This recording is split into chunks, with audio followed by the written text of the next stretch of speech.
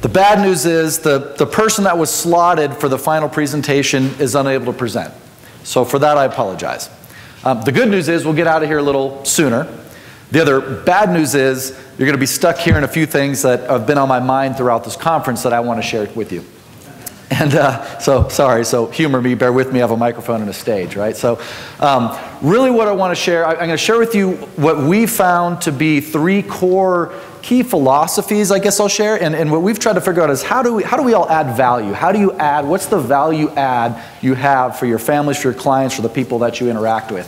And so we've come up with three that I want to share with you.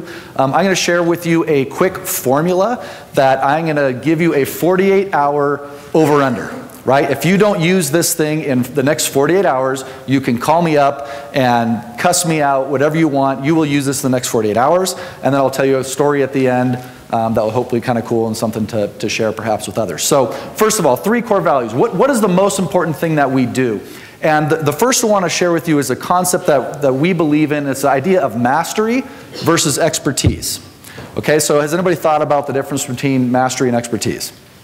Is there a difference? Right, so, so what value do you bring to your clients? And what I will submit to you is that um, expertise, experts are people that know more and more and more about less and less and less, right? So you are narrowing your knowledge and your, your awareness and your understanding of a thing where you're getting tighter and tighter knowledge around a specific subject. That's not a bad thing, by the way. That's a good thing. You want people that know lots and lots about specific topics and specific things because things have detail and you need to address the detail.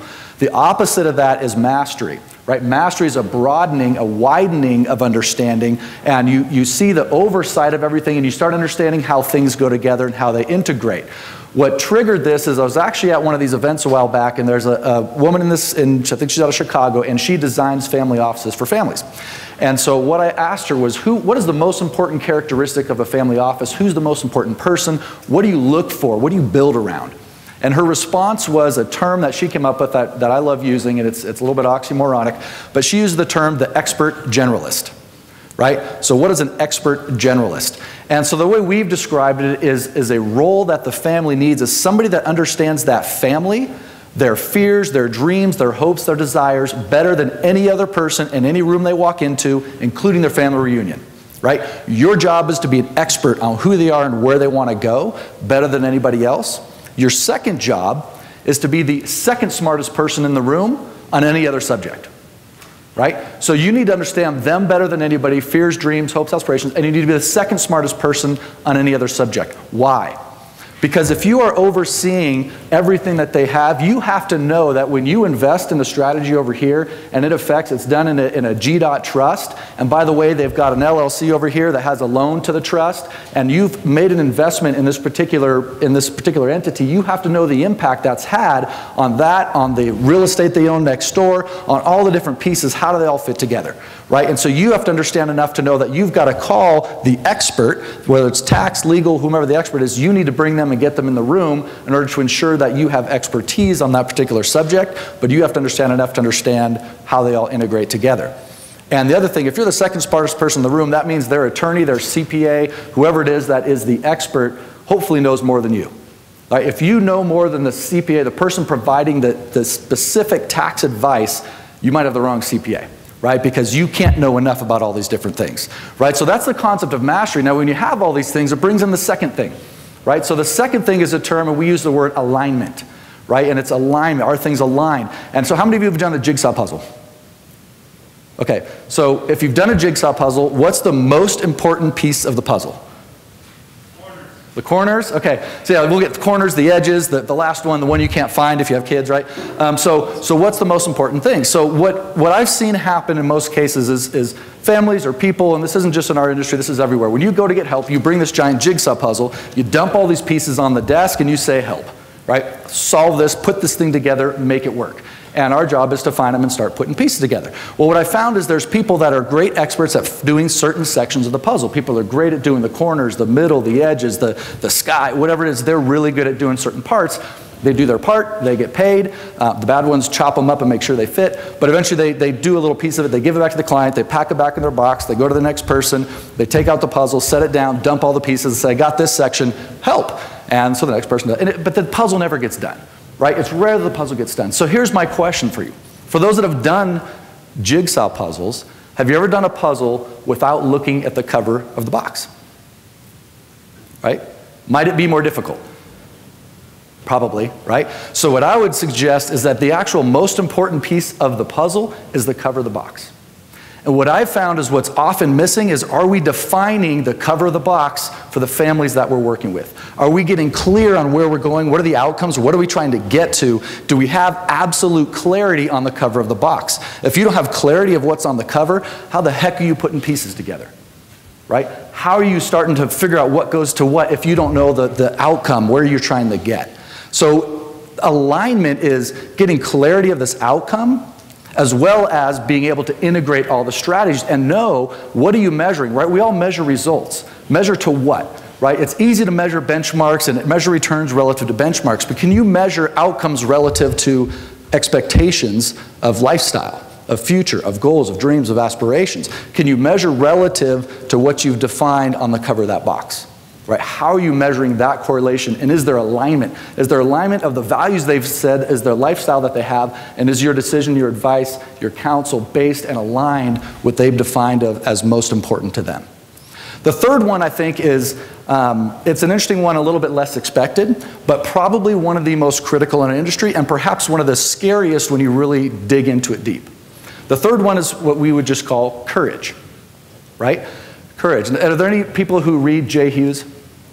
So if you read Jay Hughes, um, I mean, he's a philosopher. He's a third generation uh, attorney, or maybe fifth generation attorney, but, but he is a brilliant man, and he has devoted his life to trying to understand this issue of shirt sleeves to shirt sleeves in three generations. Right? We've mostly heard that by now. By the time wealth transfer third generation, it's blown, the money's gone, the kids all hate each other, right? We know that. And so, what are those causes? Um, well, Jay has a concept, and he doesn't use the word courage, but he talks about a person that is, he, he calls, he uses the term the personne de confiance, right? Which is the, the person of confidence, is the, it's kind of the consigliere, right, of the, of the family as a critical person.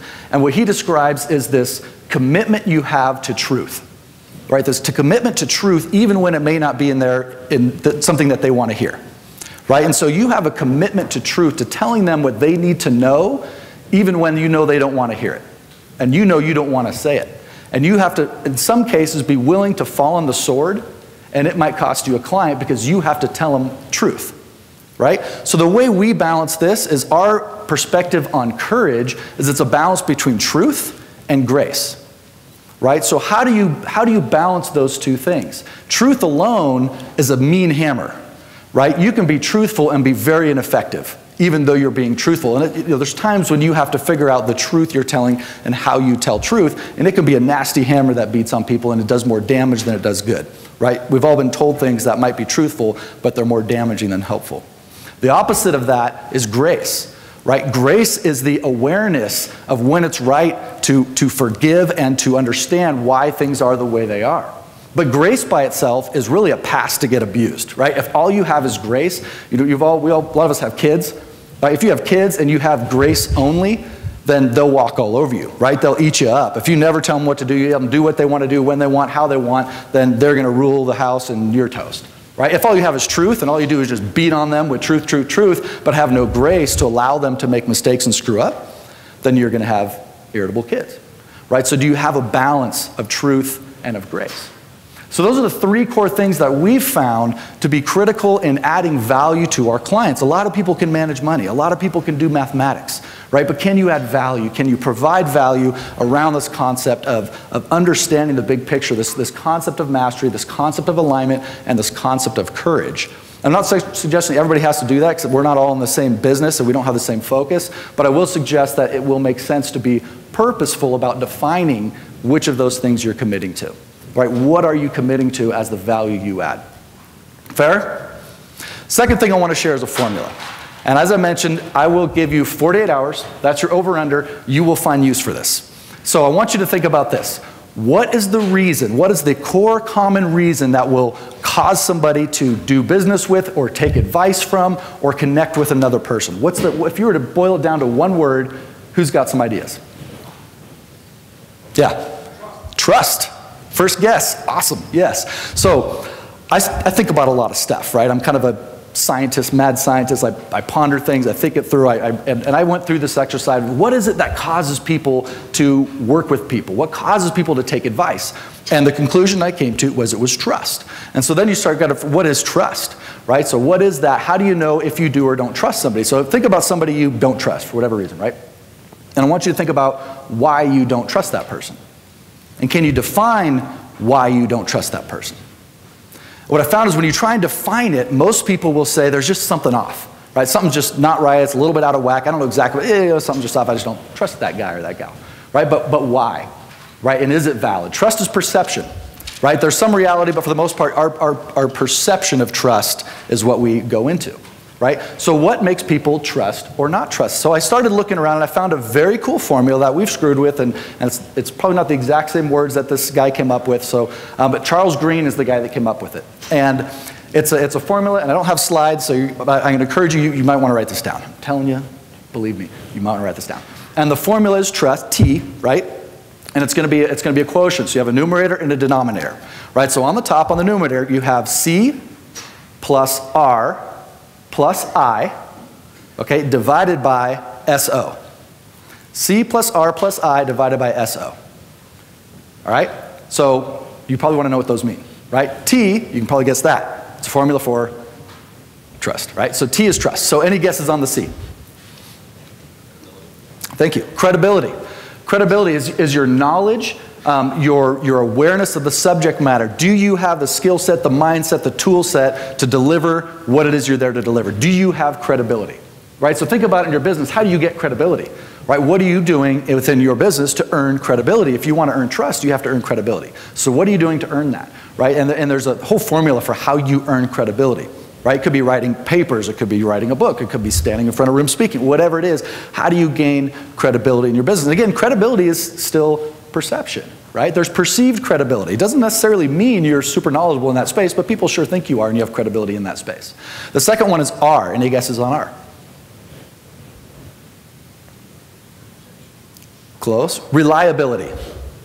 So the R is reliability. Are you reliable? Do you do what you say you're going to do? Right? Do you follow through? And if you think about reliability, think about, again, and this comes up in the family a lot where I see the, the trust breakdown. If you look at the issues of why family, why wealth falls apart in families in three generations, there's a, there's a formula for it. There's studies. And this study applies to a ton of different things. I'd talk about that if we had time. But, the, but think about trust in a family where, you know, somebody mentioned in the thing yesterday that, you know, the, the family usually didn't accumulate the wealth while dad was home playing catch with the kids right? So there, there's oftentimes this pattern of, you know, a, in most cases it seems to be father saying, yeah, I'll be at your game, I'll be at your game, I'll be at your game. He's never at the game, he's never at the game, he's never at the game, right? And things stop happening and there start becoming this breakdown of you always said you would, but you never did, right? You bought me a nice car, but I just wanted to hang out with you right? And so you have this breakdown because of what was said wasn't delivered. So think about it in your business, it's the same thing. When you stop delivering on what you say you're going to deliver, your reliability goes down, your trust goes down. So people that don't follow through, that aren't reliable, start losing trust. Okay, the third one, I. Probably a little trickier. Any guesses? Nope. Good guess. So that's more in the credibility. That's close. So, so I is a, is a term, it's intimacy. Intimacy. And so this is kind of like the do I like you. But it's a little more than do I like you, it's really do I get you. Do I get you? Do I understand you? Do we have a connection, right, beyond just you're nice or you're credible or you do what you say you're going to do? So this is an intimacy, which is, in a sense, is do we share values? Do we have something in common? Do I enjoy being around you? Do we have a connection? So I mentioned at the very beginning of this thing something that I was going to challenge people to do, and probably nobody paid any attention, but how do you create intimacy? right? And I will submit to you the you cannot create an environment of intimacy without vulnerability and transparency. If you don't have transparency, not just in your practice, but to some extent in your life, are you open? Are you honest? Are you vulnerable with people? Because if you think about people that you don't have intimacy with, there's usually a lack of vulnerability, right? And the people you are most intimate with are vulnerable right? And so there is this, this notion of, of you do business with people you like, right? Well, what do you like about people? Well, most common, there's, there's a vulnerability and a connection that takes place around intimacy. So, so far we've got the numerator, C plus R plus I, credibility, reliability, and intimacy. Right, so let's look at the denominator. What's on the bottom? What detracts from your trust quotient? right? So SO was the frame, the term that I used. And again, a little trickier one. Any guesses? So SO stands for self-orientation, right? Yep, thank you. Selfishness. So are you motivated by what's best for you or by what's best for somebody else? Somebody with high self-orientation is motivated for self, right? Somebody with low self-orientation is motivated for others. So what are you? Right? Again, back to the who do you trust or who do you not trust. If you think about somebody you don't trust, I will tell you more often than not, this is the killer. Right? Somebody that looks out for themselves, that looks out for number one, right? We have a whole, I mean, our, our system is built on look out for number one. Don't forget number one, right? And so, but the reality is that's a breakdown of trust.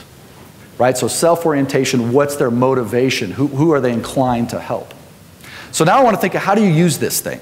Okay, so we've used it formulaically where we will use 1 through 10 on the top, 1 through 5 on the bottom, and run the math, right? What is the mathematical outcome of their trust quotient?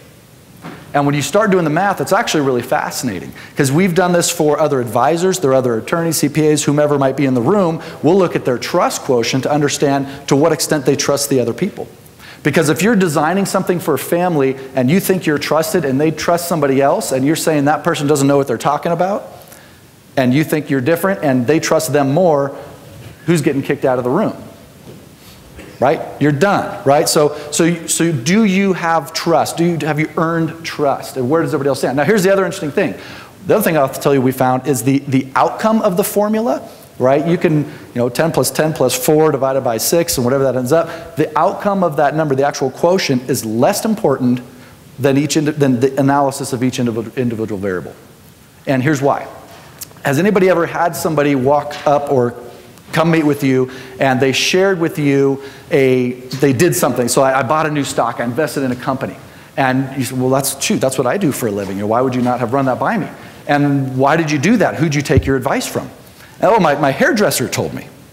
And now you're, what are you talking about? So you went and got your hair done. As a result of getting your hair done, you took stock advice from that person. You got to be kidding me. How does this happen? How could it be, right? And then you start thinking about it and you run this through the trust formula. And say, okay, well, this, this person doing your hair, so, credibility, does she know what she's doing? Does she know what she's talking about? Well, no, not really. She's not credible in that space. It's not her area of knowledge and wisdom. Um, but, so maybe she's a two or three in that space. But is she reliable? Well, yeah, she gave me one last month and it went straight up. It was awesome. She's an eight. Right? How about intimacy? Do you like her? She's awesome. She's great. We talk about our kids. We totally connect. She's the coolest person ever. How about self-orientation? So we're like a nine or a 10 on intimacy. Right? So you add them up and all of a sudden you're at a, you're at a 20 on the top, right? And now you go down to self-orientation. Well, is she doing this for, does she have something to gain? Is this in her best interest? Well, no, she has nothing to gain. She doesn't get paid. There's, there's no reason. She's just being awesome, right? So she's a one on self-orientation, like none. So you do the math and oh my goodness, she's like a 20, right? That's amazing. This, this hairdresser's a 20. I just took her advice to go buy stock, right? Now take the flip to that. So here's another scenario. You go in and you've got an attorney on the team, right? And somebody's trying to decide, should this attorney be on the team or do we kick the attorney off the team? And we want to know to what extent we trust the team, the attorney. Well, we do the math, low trust questions, because like a four Let's get him out of here. But then you stop and you think, well, why? Why is he a four?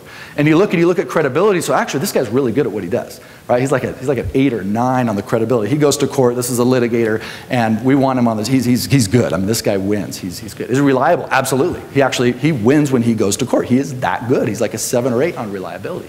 Well, what about intimacy? I can't stand the dude. This guy is a jerk. I mean, the way he talks to me, the way he treats people, he's brash, he's mean. I call him, he bills me. This guy's a jerk. I don't ever want to deal with him again. Well, he's like a one on that.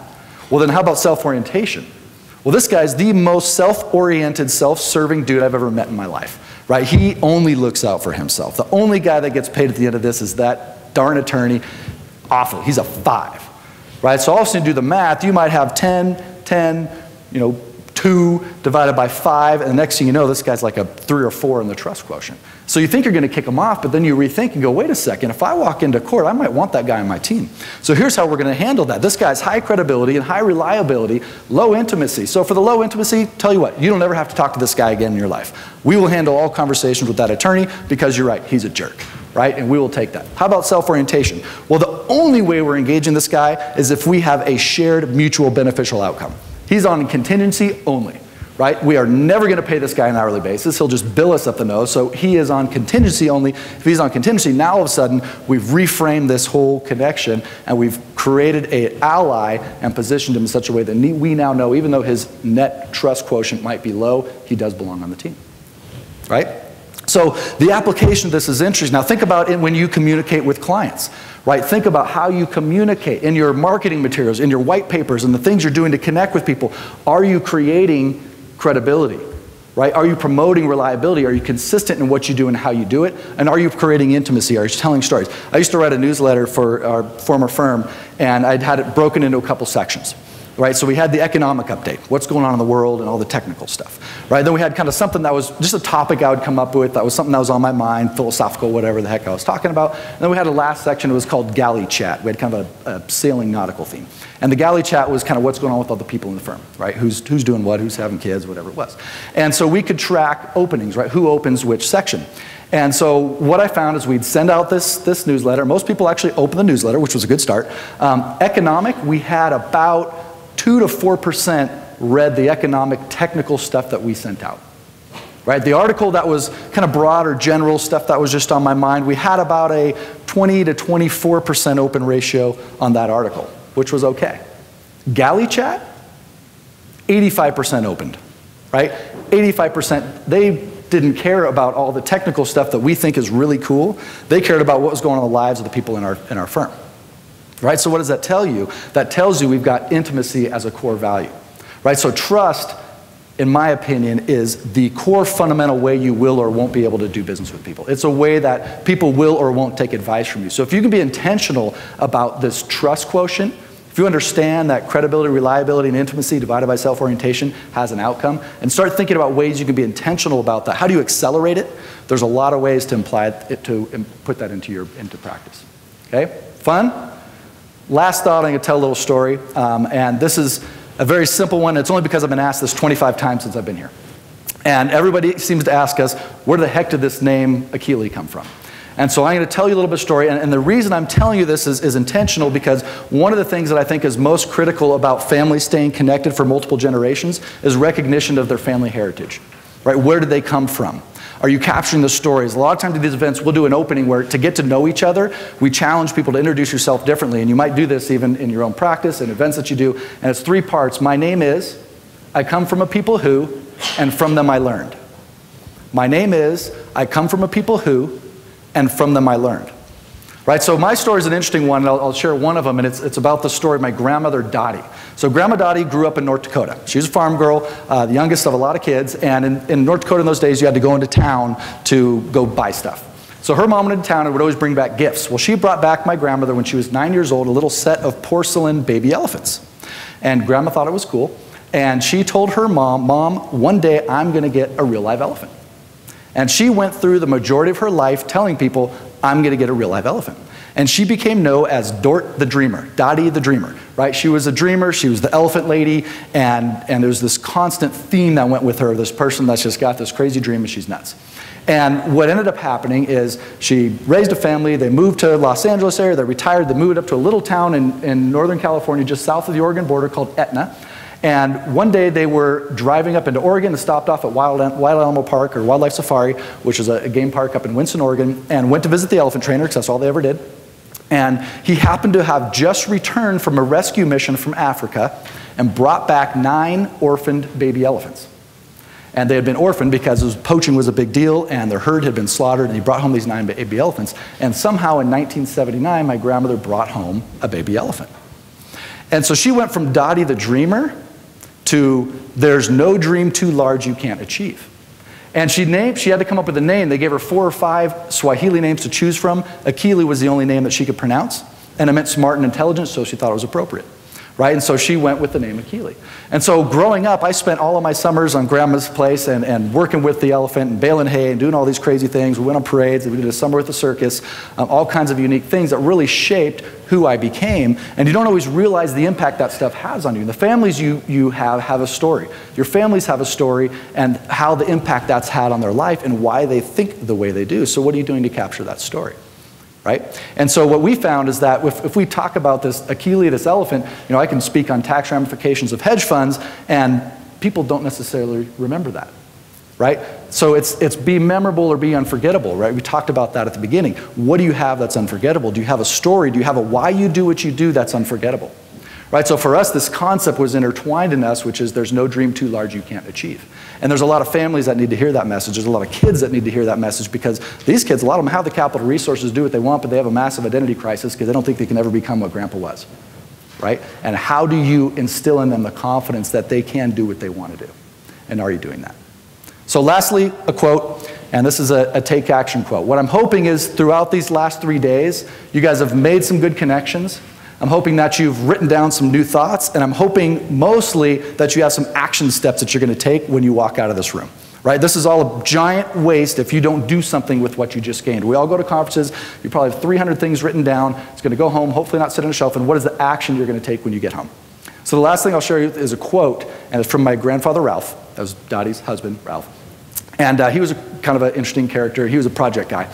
And uh, there was one point where my cousin and he and I were in his big dually truck. It was a giant truck because you had to be able to pull an elephant with it, right? So it's a big truck. And we were driving across a bridge um, to get up to their cabin. And every, every winter it snowed. The bridge was covered with snow. And the thing was, we had to check it every year to make sure it was still safe. And so we drove to the bridge, we got out, we checked the bridge. There were three giant logs. He'd built it, he cut down the trees, he did all the work on it, and two of the logs were broken. And so I figured there's no way we're going across the bridge today. Well, Grandpa looked at it and said, I built that bridge. That log is perfectly strong. That could hold Akili's trailer. We're going across the bridge. So I said, You go across the bridge. I'm out. So my cousin Gary and I got out, stood and watched as Grandpa pulled the dually across the bridge. As he approached it, he on the window, stuck his head out, and said a famous quote that's become part of our entire family heritage. And the words he yelled out out of the blue was, You'll never do it any younger. Right? You'll never do it any younger. He put the truck in gear and started driving across. And so that whole thought, you'll never do it any younger, really resonated. And at the time, I just thought he was nuts. But then over time, I started thinking about it and realizing, oh my gosh, Grandpa's right. You'll never do anything any younger. Right? There's nothing you can do where you, if you don't do it now, you're just going to be older tomorrow. Right? So do it now. So if you're not doing something out of this meeting, do it because you know why? Because you'll never do it any younger. Right? And so I'll tell you the story. The bridge collapsed. So Grandpa got halfway across, crackling, crunching, the thing starts falling down, right? So we're sitting here listening to things. I'm seeing images of having to run back to town. This is a tiny town, population 300. There's one tow truck, one sheriff. Um, I don't know who we need to talk to, but we got to go back and get this guy out of here. What's going to happen? It starts collapsing. It gets, it drops probably 10 to 12 feet and then just stops and hangs. And I have no idea to this day what held that thing up, but it hung there. Grandpa looked out the window, couldn't get out that side because it was dangling, crawls across, opens the door of the truck, calmly walks off the, this is a World War II guy, right? He was the guy that stormed the hill. And walks off the bridge, looks at my cousin and I, checks out our shoes, and he had a big thing, always have a good hat, good gloves, and good shoes. He confirmed that we had the right shoes on and said, boys, we're jogging back to town, let's go get the tow truck. Matter of fact, that's what it was. Very simple. We had to get a tow truck, a winch, pull the thing off. Didn't end there. But what did echo was this concept you'll never do it any younger. So, my challenge to you Take something, connect with people that you've been here with, figure out who you trust or don't trust and why, provide good value to the people that you serve, and do something with what you've gotten because you truly never will do any of this any younger. Thank you.